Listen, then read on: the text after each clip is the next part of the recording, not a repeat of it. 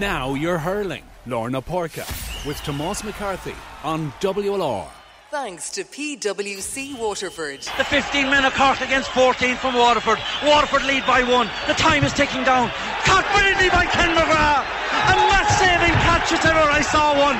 Wins a free, it's as good as a score. When you need big men, who better to call on than Ken McGrath? Superb catch by Ken. His dad did it in 82 and 83. His dad was disappointed in 82 and 83. Ken and Owen won't be today. So Ken McGrath captained Waterford to Munster glory in 2004 as the 14 men came away with a 316 to 121 victory over Cork and Thurles.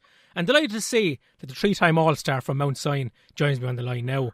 And uh, Ken, I'm sure all Waterford fans are looking forward to tuning into TG Ceathair uh, for this one on Sunday afternoon. Is this a game that you've watched back over and over again? I suppose. Um, I know I didn't watch for a good few years, to be honest with you. I suppose, look, in these are strange old times we're in, uh, everyone be stuck on Sunday, and I'm sure there'll be a bigger crowd watching it, you know. So, uh, no, look, it was a great game. I, I, I said it's a good few years since I watched it. Uh, so look, hopefully the younger kids might sit down and watch it. They might see me playing. they don't even know that I played, you know. But uh, it's hard to believe it's uh, was it 16 years ago now, you know. So time flies. But it was a brilliant game, absolutely brilliant game. But I'd love to judge it now again um, and see how it stand up with uh, with the modern game. I, I think it would. I think it definitely would. Because um, it was it was so fast and uh, it was so such an intense game. It was, a, it was a brilliant game to play in, to be honest with you, you know. Yeah, like kind of the pace of it was just hundred miles an hour right from the the throw in. Like, what was it like to be in the middle of it all? Yeah, it was. It was like that. It felt fast. Certain games uh, not too bad. You get through them, no problem. But this game did feel real fast. And I remember it was the first time in a long time. I remember saying to Tony we going to slow things down because uh, it, it, they were pulling away from us a bit in the first half. But the game was non-stop. It was, it was, it was 100 miles an hour. I suppose back then it was a lot of one-on-one. You're, you're marking your opponent, and that was it really, you know. Uh, and that Cork team, they were the first probably team to play the short passing game as well, and were brilliant at doing it, you know. So you had to be on your toes. You couldn't leave a man out in front of you because they popped the pass to him, and that was quite unheard of at the time, the most, you know. Uh, but they were doing that with Benny, uh, Ben O'Connor, um, Jerry O'Connor, uh, Tom Kenny midfield. They were coming, coming waves there, you know. So uh, no, it was a brilliant game. It definitely was a game. I remember thinking the first half, this is this is is actually some match, you know, uh, which don't often happen. You're often kind of just kind of focus on the game. Remember, remember the second. I think Jerry O'Connor got a brilliant score in the second half. Uh, he, he done it. There was a couple of one twos in the middle of the field up, up, under the old stand and put it over the bar. I remember running back up to the centre back saying, "Gee, that was some score," you know. Uh, like there were scores unbelievable in that game. And you mentioned the man-to-man duels there, Ken, and you marked Niall McCarthy that afternoon, a player that you yeah. had many ding dong battles with in Semple Stadium yeah. and Croke Park as well. What sort of an opponent was he? He was tough. He was he was, he was big. He was big enough. He was fast. Uh, he was he was aggressive. Uh, and I, I, I enjoyed him, and I suppose he probably felt the same. We we we, we just have a right cut up on her, like you know, and it'd be it'd be just honest, honest old uh, duel you'd have with him. You know, you turn on her, you know, talking, if you know him, you just play away. Uh, but he had to his marking him. And uh, now I enjoyed marking him because at times you could leave Niall out in front of you. He wasn't probably the best fella to score at times, but he he he, he would win ball and he caused havoc. But I, I enjoyed probably sitting back a small bit and sweeping a bit, you know. Uh, but against Cork, you'd have to be, probably push up your opponent more because the, the midfielders would give the ball to the centre forwards, you know, where other teams. Did up most teams at times were going long, you could sweep up behind Tony or uh, Brian Phelan was left half back that day. You'd sweep up, you know, but the Cork lads have to be ready because they could pop that pass or, or, or they go long. So you're always on your toes playing against them, and look Cusack on the goal as well. Then like it wasn't just a straightforward look the ball down, you know. So uh, no, it was good, and, and, and look, uh, we managed her probably seven or eight times over the years, I'd say, and, and with some great old tussles, you know. And look, I, I still get on well with him now. He's a he's a lovely fella off the pitch as well, you know. And and you moved to centre back that season, Ken. You were man of the match against Clare in, in the first round of the Munster Championship. How did that switch come about? No, no, enjoyed it. Uh, I remember I was, I was seven or eight, seven years probably centre forward, wing forward, centre forward. So uh, I went back for the second part of the league. The league was broken up into two sections that year. Uh, got to the league final. Uh, we were pulled off in the league final against uh, Galway up in Limerick, but was, we were all ready for the championship, you know. And Justin had his kind of prime for the championship. And I was back centre back. Centre back was me. The Clare game was, was my first game actually centre back. I was wing back in the league, and I loved it. Settling in straight away. I loved it, and uh, I had my best probably four or five years easily playing county Horn, you know. Mm, and and you produced a couple of big plays that day, Ken. The first one I wanted to ask you about was the point. I think from your well inside your own half. Um, did you go for it, or were you looking to put it in around the square? No, I went for it. I went for it. Very good. if, if it drops short, I'd say I mean no. I, I went for it. Uh, and look, I suppose now that the, the, the lads that do that no bother nowadays, the ball. team, I don't know whether the ball is travelling farther or the lads are hitting the ball uh, further, but uh, now that wouldn't be. You, you see that regularly in, in matches, you know. Uh, but no, I caught it nicely. It was fun breeze going down that way. Uh, anyone that knows Thurles and played after playing Thurles, you know that's the kind of score and goal into the town end, you know. So. Uh, you know, I, I felt confident having, having a pop off it, and I went over, thanks to God. Um, no, look, every point kind of mattered that day, um, and look, every score was huge. And Dan, Dan Shan got around three or four points in the first half and a goal, and, and he kind of kept us in it. He was brilliant wing forward that day, you know, uh, and really kept us in it when we were kind of struggling the first 15, 20 minutes. Uh, Dan kept us going, you know, and every, I said every score was huge, and uh, that was a great score to get, you know. Yeah, and uh, I suppose I'm going to ask Paul Flynn later on about that tipper in the second half. But towards the end of the game, um, your catch o- over Dermot O'Sullivan is one that every Waterford fan fondly remembers. Ken, um, you said after the game in the post-match interview that uh, the ball never felt so good in your hand. Um, can you talk us through that passage of play?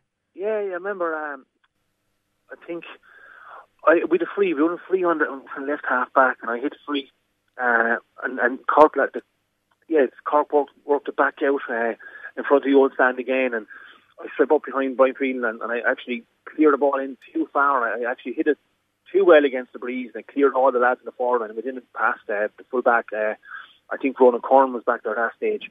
Um, I think Brian Murphy stripped up gave it to Ronan Curran, and he, he kind of played it straight back down the middle. Um, and I was back into the back at that stage, and for some reason I saw Dermot O'Sullivan there. I don't know why he was even up there at that stage, but I suppose obviously trying to go for it. And uh, no, I knew it was the ball you had to win. And look, there's certain plays and matches or certain balls in, in big matches, you know, I have to win them.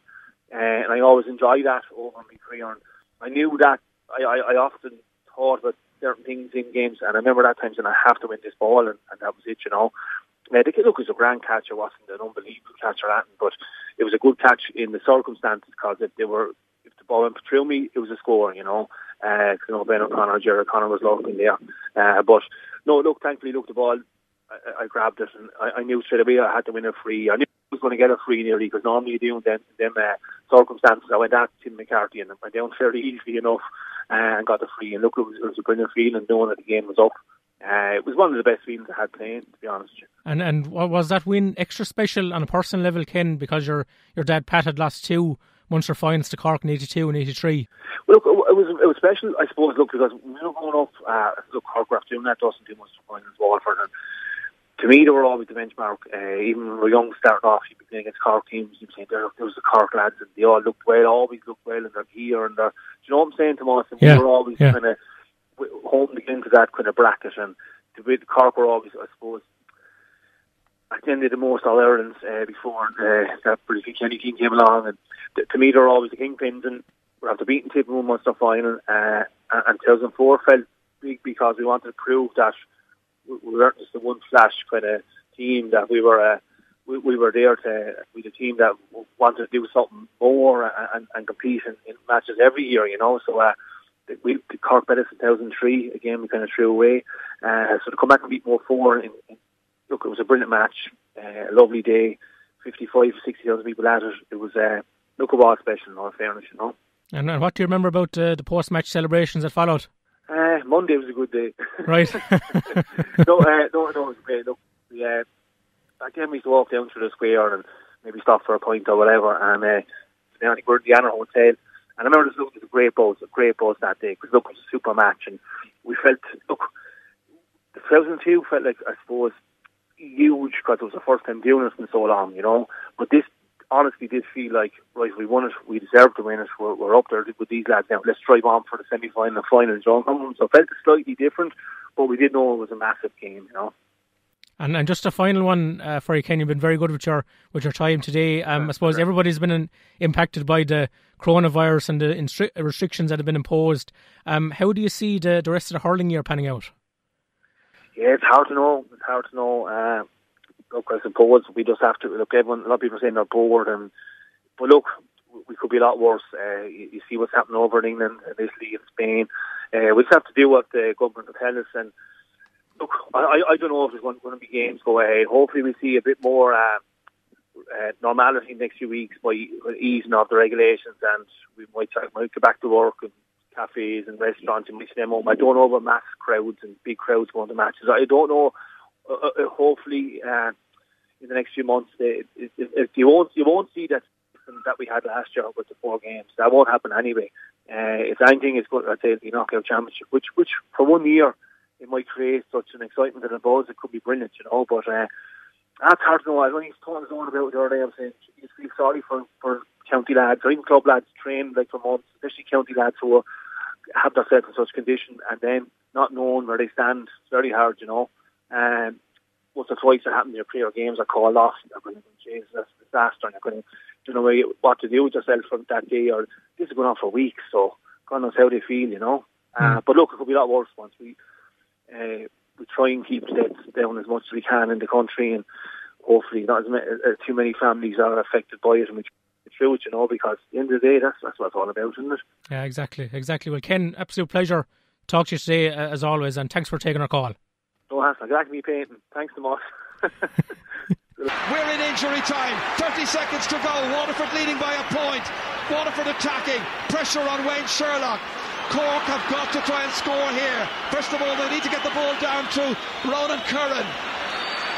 The referee has a look at the watch, says play on. Ken McGrath makes a fantastic catch.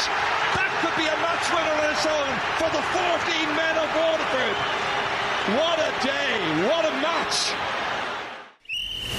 Now you're hurling. Lár Na Páirce with Tomas McCarthy on WLR. Thanks to PwC Waterford.